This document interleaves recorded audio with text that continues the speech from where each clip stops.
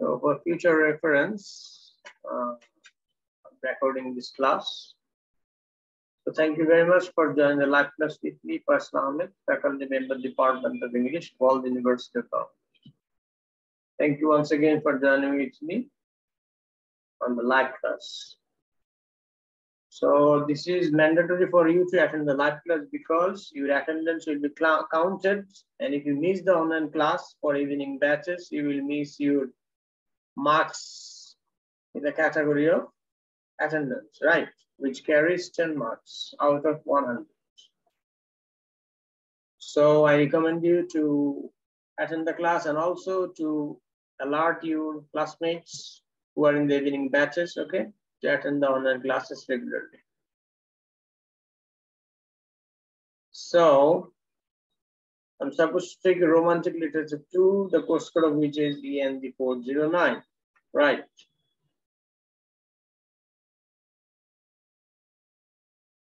So in this lesson, you, you're gonna learn romanticism, the definition of romanticism, philosophy of romanticism, causes and characteristics of romanticism, and also major person authors of the romantic literature or romantic era, and short biography of our selected writers, John Keats, Jane Austen, and Lord Byron. Right. Let me show you in the big screen through slideshow. Slide full screen mode. Right, can you see the screen full?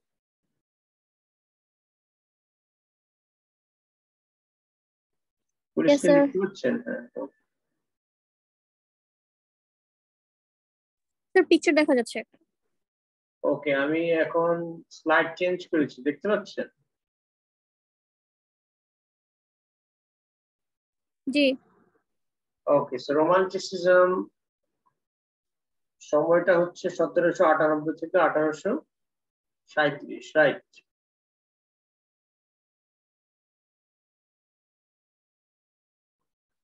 সতেরোশো আটানব্বই থেকে আঠারোশো সাঁত্রিশ যদিও অনেকের মধ্যে আঠারোশো হয় অর্থাৎ এই সময়ে সবচেয়ে বেশি রোমান্টিক লিটারেচার লেখালেখি এবং পাবলিশ হয়েছিল যার কারণে এই সময়টাকে মেজর পিক সময় ধরা হয় romantic Romanticism, also known as the Romantic era, was an artistic, literary, musical, and intellectual movement that originated in Europe towards the end of the 18th century. And in most areas was at its peak in the approximate period from 1800 to 1850. যদি আমরা round figure করি আর কি আঠারোশো থেকে আঠারোশো পঞ্চাশ তার মানে first half of the nineteen century Romanticism was characterized by its emphasis on emotion and individualism, idealization of nature, suspicion of science and industrialization, and glorification of the past, With a strong preference for the medieval rather than the classical. তো মধ্যযুগকে এখানে প্রাধান্য বেশি দেওয়া হয়। আদি বা প্রাচীন যুগকে প্রাধান্য কম দেওয়া হয়। এবং রোমান্টিক ইরার সাহিত্যের মধ্যে আবেগ, অনুভূতি, ওকে, ব্যক্তি, বোধের বা আলাদা আলাদা ব্যক্তির স্বাধীনতাকে, আলাদা আলাদা ব্যক্তির চিন্তাকে প্রাধান্য দেওয়া হয়। আলাদা আলাদা ইডিওলজিকে প্রাধান্য দেওয়া হয়। নেচারকে প্রাধান্য দেওয়া হয় কালচারকে প্রাধান্য দেওয়া হয়, তারপর বিজ্ঞানের ব্যাপারে সন্দেহ পোষণ করা হয় বা বিজ্ঞানকে অপছন্দ করা হয় এবং ইন্ডাস্ট্রিয়ালাইজেশন বা ক্যাপিটালিজম অথবা আরবানাইজেশন এগুলোকেও রোমান্টিসিজমে অপছন্দ করা হয়, যেগুলো সভ্যতার নামে আসলে নেচারকে এবং মানুষের স্বাভাবিক জীবনযাত্রাকে ব্যাহত বা ধ্বংস করছে। ওকে তো এগুলো মানুষকে বেশি ব্যস্ত তো করে দিচ্ছে এবং ব্যস্ত করার মাধ্যমে মানুষের যে স্বাভাবিক জীবনযাত্রা, সেটা ব্যাহত করছে ওকে এবং অতীতের যে গ্লোরিফিকেশন সেটাকেও এটা খুব একটা পছন্দ করে মানে রোমান্টিসিজম বর্তমান নিয়ে রোমান্টিসিজম প্রকৃতি নিয়ে এবং রোমান্টিসিজম ব্যক্তির চিন্তাকে নিয়ে বেশি প্রাধান্য দেয়।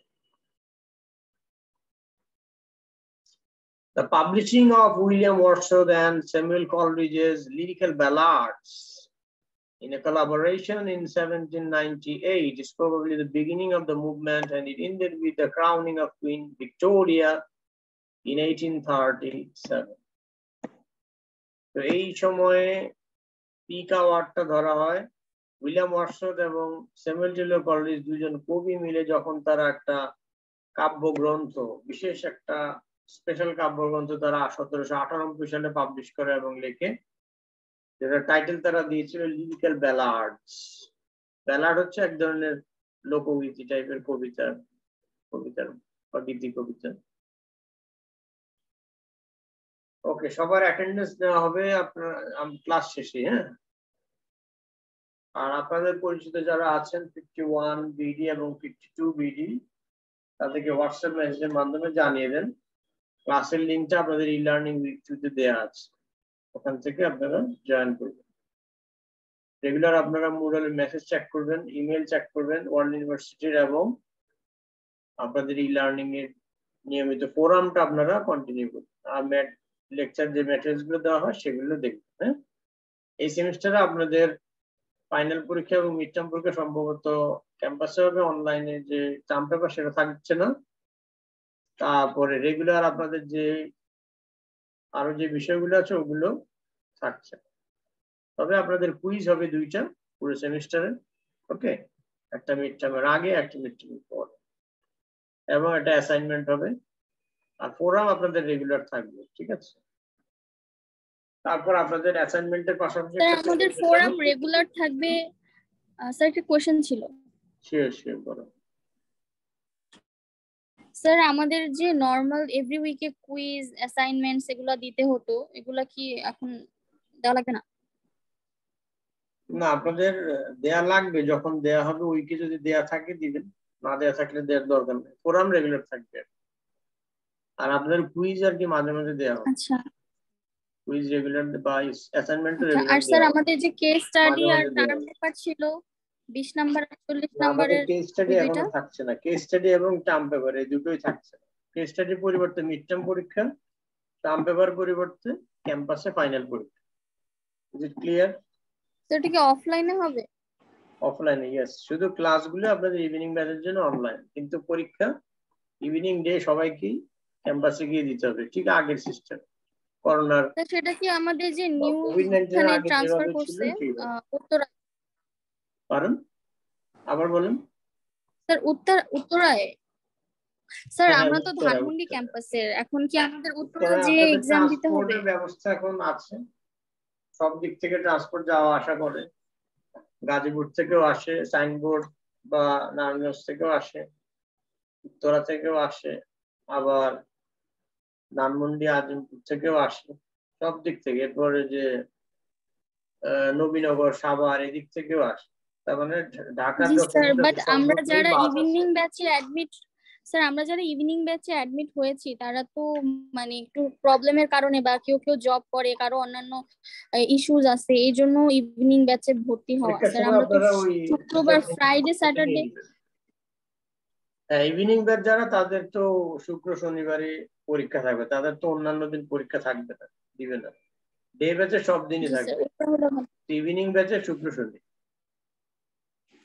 বুঝতে পেরেছি। মানে শুক্র শনি এক্সাম হলেই ভালো হতো আর কি। হ্যাঁ হ্যাঁ কারণ অনেকে ইভিনিং ব্যাচ তো অন্যান্য দিন তো সেটা অ্যাডমিনিস্ট্রেশন জানে যে ইভিনিং ব্যাচ যারা ভর্তি হয়েছে তারা চাকরি বাকরি করে তাই না? তো তাদের ওই ওয়ার্কিং ডে গুলোতে পরীক্ষা দেওয়া হবে বন্ধের যে দিন সেই দিন দেওয়া হবে মানে শুক্র শনি সরকারি ছুটি দিচ্ছে ওকে ওকে স্যার ঠিক আছে। আর কোনো কোশ্চেন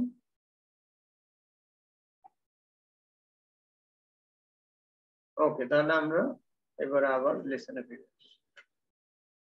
সো কুইন ভিক্টোরিয়া সিংহাসনে বসেন আঠারোশো সাঁত্রিশ সালে এবং তার বসার পরবর্তীতে সেটা হচ্ছে ভিক্টোরিয়ান পিরিয়ড বলা হয় আর কি লিটারেচারে অর্থাৎ সেই সময় যারা সাহিত্য রচনা করেন সেইটাকে ভিক্টোরিয়ান পিরিয়ড বলা হয়। যদিও ভিক্টোরিয়ান ইরাতে রোমান্টিক লিটারেচারে লেখা হয়েছে।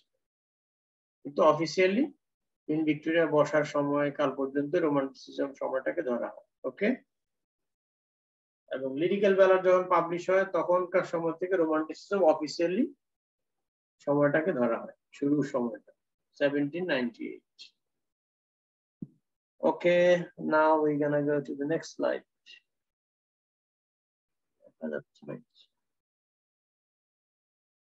Okay, so it was embodied most strongly in the visual arts, music, and literature, but had a major impact on historiography, education, chess, social, uh, social sciences, and the natural sciences. It had a significant and complex effect on politics, with romantic thinkers influencing converts, conservatism, liberalism, radicalism, and nationalism. Okay, so romantic is our কবিরা তারা শিল্প, সাহিত্য, সংস্কৃতি visual arts painting okay social science natural science historiography education এগুলোর উপর তারা major impact করে বা এই সময়টা। কিন্তু আর্টিফিশিয়াল ম্যানমেড বিষয়গুলোকে রোমান্টিসিজম রিজেক্ট করে বা অপছন্দ করে হ্যাঁ। এর আরেকটা গুরুত্বপূর্ণ প্রভাব ছিল বা গুরুত্ব ছিল হচ্ছে রাজনীতির উপরে যথেষ্ট জটিল একটা প্রভাব ফেলে। অর্থাৎ মুক্ত চিন্তার যারা, তারা তো হচ্ছে যারা পুঁজিবাদী, যারা সমাজে শোষণকারী, অথবা যারা এই যে করাপ্টেড পলিটিশিয়ান এদের বিরুদ্ধে আর কি বলে। যার কারণে রোমান্টিসিজম বা রোমান্টিক এরা রাইটাররা মারাত্মকভাবে এই পলিটিক্যাল এবং ক্যাপিটালিস্টদের উপর একটা আঘাত এনেছিল বা ইন্ডাস্ট্রিয়ালিস্টদের উপর। মিল ফ্যাক্টরি যারা বানায়, যারা পুঁজিবাদী, যারা শোষণকারী অথবা যারা দুর্নীতিবাদ শাসক, তাদের বিরুদ্ধেই রোমান্টিক রাইটাররা লেখালেখি করে। ওকে এবং সাধারণ মানুষ, মানুষের অধিকার প্রকৃতিকে রক্ষা হ্যাঁ শিল্প সাহিত্য চর্চা এবং এগুলোর যে স্বাধীনতা সেটাই রোমান্টিসিজমে ওই ধরনের বিষয়টাকে প্রমোট করা ঠিক আছে The movement emphasized intense emotion as an authentic source of aesthetic experience, placing new emphasis on such emotions as fear, horror, and terror, and awe, especially that experience in confronting the new aesthetic categories of the sublime and beauty of nature. It elevated folk art and ancient custom to something noble. Romantic মুভমেন্টের আরেকটা জোর দেওয়ার বিষয় হচ্ছে আবেগ, অনুভূতি এবং মানুষের কল্পনা individual ব্যক্তির কল্পনা এখানে authentic source of aesthetic experience অর্থাৎ নন্দন তত্ত্বকে এখানে বেশি গুরুত্ব দেওয়া হয় এবং মানুষের ভয়, আতঙ্ক হ্যাঁ? এই বিষয়গুলোর উপরও জোর দেওয়া হয়। Specially that experience in confronting the new aesthetic categories of the sublime and beauty of সবগুলোই প্রকৃতির সৌন্দর্য কি তুলে ধরা হয় এগুলোর মাধ্যমে। এবং এখানে লোক সাহিত্য, লোক শিল্প এগুলোকেও তুলে ধরা হচ্ছে। Okay, the romanticism, romantic is a portrait by painting. So although the movement was rooted in the German Stram and Drang, German Stram and Drang movement থেকে এটা শুরু হয়েছে হ্যাঁ পরবর্তীতে ইংল্যান্ডে ফ্রান্স এবং ইংল্যান্ডে এসেছে এবং এর মাধ্যমে কিন্তু ফ্রান্স রেভলিউশন হয়েছে রোমান্টিসিজমের মাধ্যমে which preferred intuition and emotion to the rationalism of the enlightenment the events and ideologies of the French Revolution are also proximate factors since many of the early romantics are cultural revolutionaries and sympathetic to the revolution. So romantic era যারা writer তারা France রেভলিউশনের পক্ষে ছিল France revolution হয়েছিল ফ্রান্সের দুর্নীতিবাদ শাসক রাজা এবং শোষণকারী গোষ্ঠীর বিরুদ্ধে সাধারণ মানুষের আন্দোলন ঠিক আছে এবং ওখানে অনেক মানুষের প্রাণ গিয়েছিল সেটাই হচ্ছে ফ্রেঞ্চ রেভলিউশন এবং এখানে রোমান্টিক ইরার রাইটাররা যথেষ্ট অবদান দিয়েছে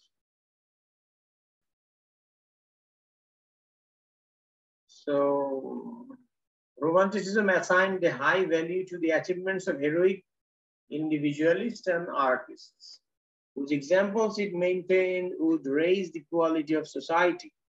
In the second half of the 19th century, realism was offered as a polar opposite to romanticism. So romanticism এর একেবারে বিপরীত ধর্মী দেখা হয় রিয়ালিজম রিয়ালিজম হচ্ছে ম্যানমেড যে সিভিলাইজেশন বা ইন্ডাস্ট্রিয়ালাইজেশন সেটাকে ইঙ্গিত করে রোমান্টিসিজমের ফিলোসফি বা দর্শন হ্যাঁ The roots of philosophical romanticism can be found in the work of Jean-Jacques Rousseau and Immanuel Kant. Rousseau, who is credited with the idea of the noble savage,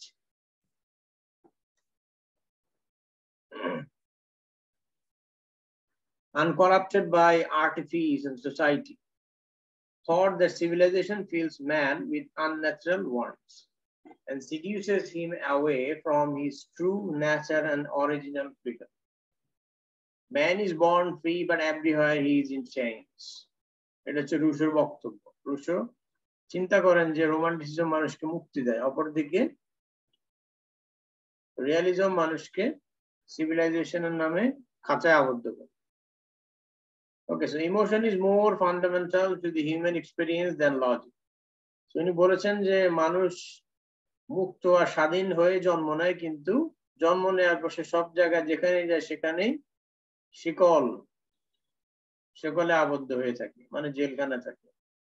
কখনো সমাজের জেলখানা কখনো ধর্মের জেলখানা কখনো পারিবারিক অনুশাসন বা কখনো রাষ্ট্রীয় জেলখানা। ঠিক আছে? এরকম So emotion is more fundamental to the human experience than logic.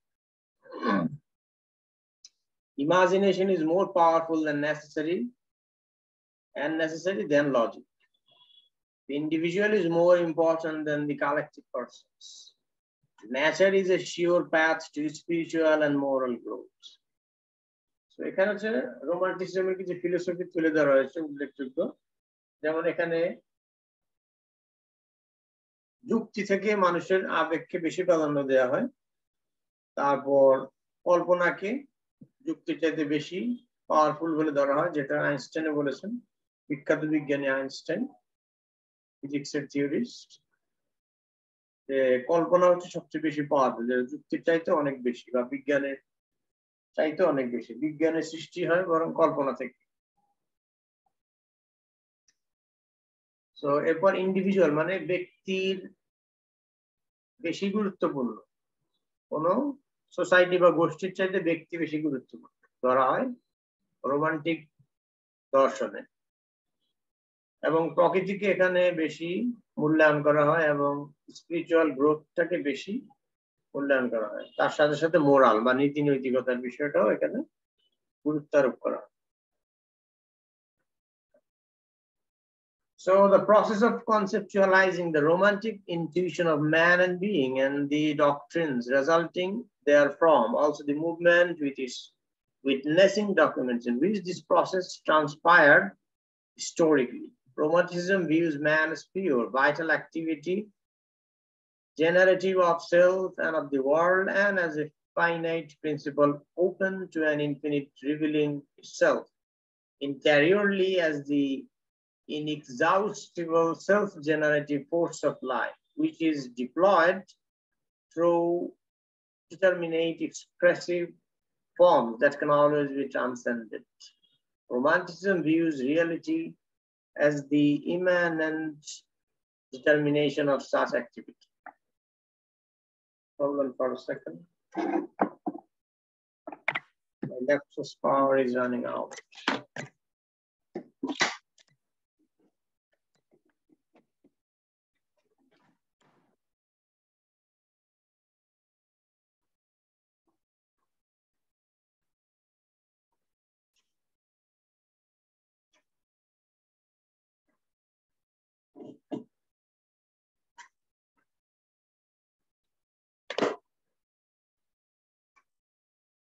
Okay, so causes of romanticism. Romanticism was partly a reaction to the Industrial Revolution, the social and political norms of the Age of Enlightenment, and the scientific rationalization of nature. All components of modernity. So modernity বা আধুনিকায়নের বিরুদ্ধেই হচ্ছে রোমান্টিসিজমের আন্দোলন হ্যাঁ পুরোপুরি আধুনিকায়ন romanticism চায় না romanticism চায় প্রকৃতির সাথে মিশে থাকছে একেবারে জেনুইন যেটা সেটাই ধরে রাখছে হ্যাঁ আর্টিফিশিয়ালিটি কম পছন্দ করে Romanticism was a revolt against the artists, aristocratic, social, and political norms of the age of enlightenment, neoclassicism, and also a reaction against the scientific rationalization of nature. Romanticism believed in the intrinsic ability of mankind to understand nature and its phenomena. Neoclassicism, emotional restraint, order, logic, elegance, subjection, clarity, dignity, and decorum. অর্থাৎ new ক্লাসিসিজমের যে বিষয়গুলো এখানে বলা হয়েছে the rise of industrial revolution and urbanization so এই জিনিসগুলোর কারণে মূলত রোমান্টিসিজমের উত্থান হয়েছে আধুনিকায়ন তারপরে অতিমাত্রায় কৃত্রিমতা নেচারকে ধ্বংস corruption exploitation of the monarchs, kings, or rulers, অতিমাত্রা ইন্ডাস্ট্রিয়ালাইজেশন আর আরবানাইজেশন যেটা প্রকৃতিকে ধ্বংস করতে এই কারণগুলোতে রোমান্টিসিজমের উত্থান হয়। ওকে সো রোমান্টিসিজমের বৈশিষ্ট্য কি romanticism was partly a reaction to the industrial revolution the social and political norms of the age of enlightenment and scientific rationalization of that পড়া হয়েছে মনে হয়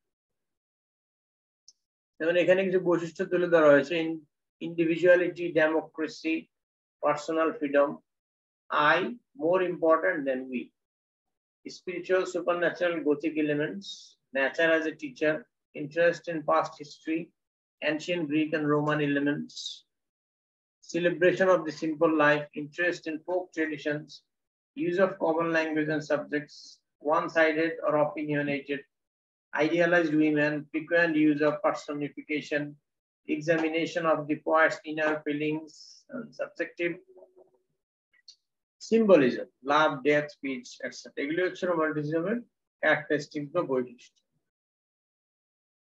উল্লেখযোগ্য কবি, সাহিত্যিকরা আছেন এখানে বা রাইটাররা আছেন। যেমন William Blake, William Watson, Samuel Taylor Coleridge, John Keats, Percy Bysshe Shelley, Lord Byron এরা হচ্ছে বিখ্যাত কবি। এছাড়া এসে বা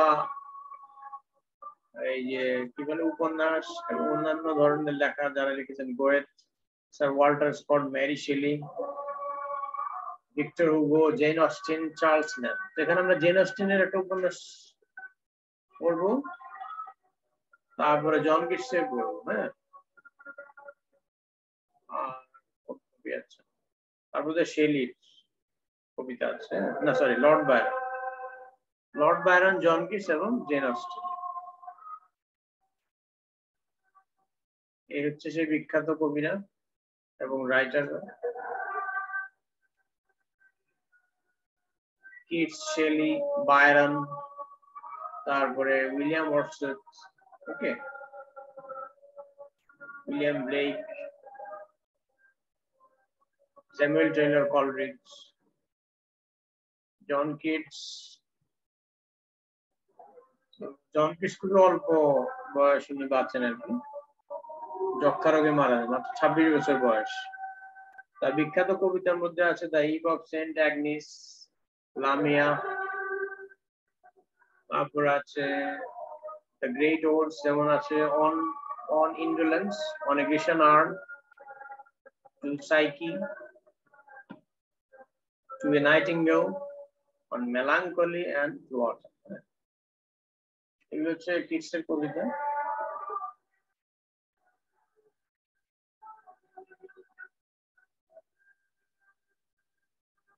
তো রোমান্টিকরা একদম মেজর কবি হ্যাঁ জন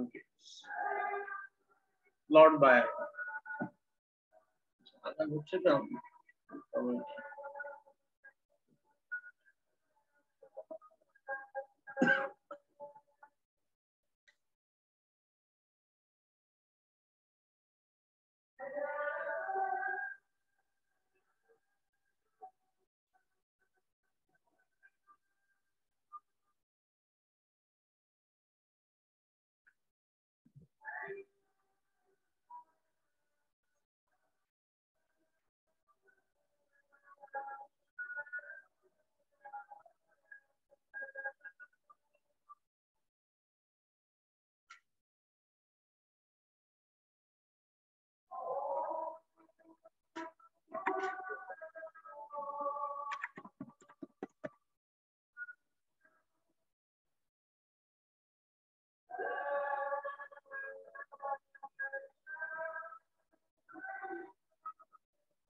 So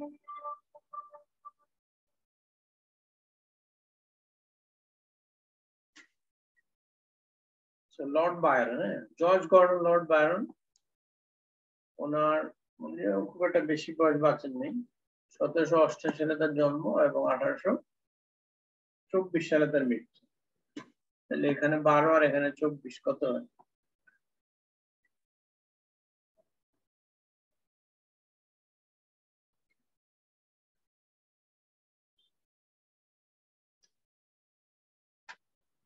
ছত্রিশ Simply known as Lord Byron, was an English poet and poet, one of the leading figures of the Romantic movement. Byron is regarded as one of the greatest English poets.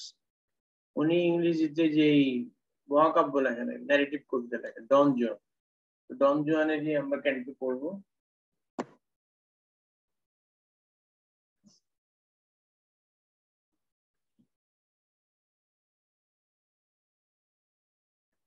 So he remains widely read and influential. Among his best known works are the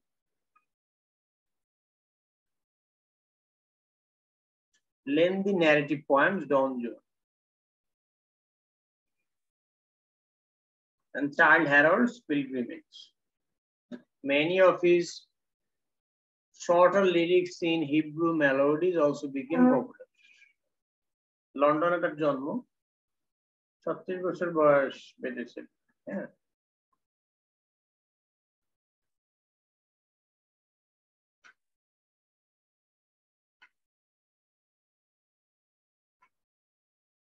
এরপর আমরা দেখি Jane Austen একজন female writer তখনকার সময় নারী উপন্যাসিক একটা উপন্যাস আছে।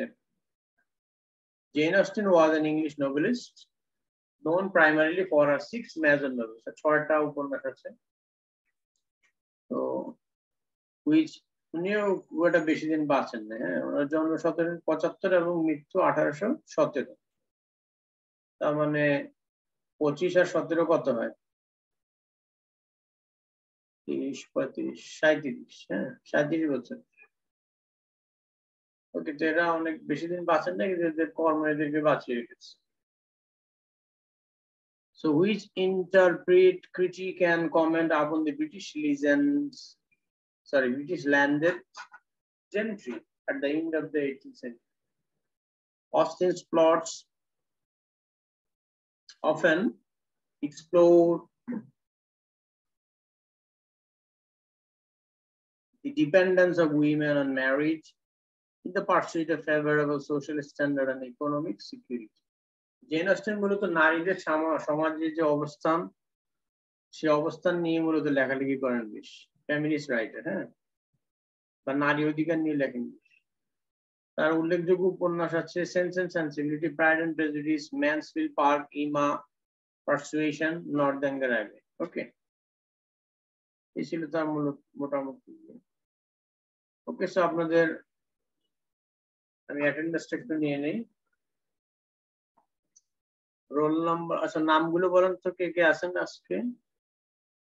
ফারজানা আছেন তারপরে হচ্ছে আনিসুর রহমান। এরপর আর কি আছেন? সাকিব হাসান। সাকিব হাসান। হ্যাঁ। তারপর কে আছেন? স্যার খায়রুল ইসলাম আছে। খায়রুল ইসলাম। তারপর কে আছেন? মার্জিয়া আছেন মার্জিয়া মিমি। নাই আনিসুর রহমান আছেন।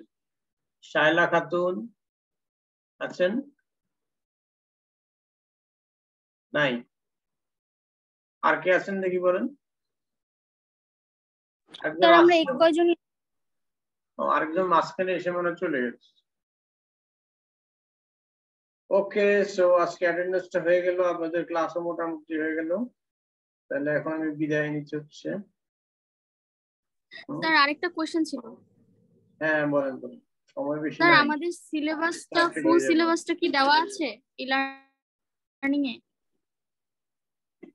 কোথায় কোথায়? স্যার সিলেবাসটা স্যার সিলেবাসটা কি ই লার্নিং এ আপলোড লার্নিং এ দেয়া আছে আপলোড দেয়া আছে।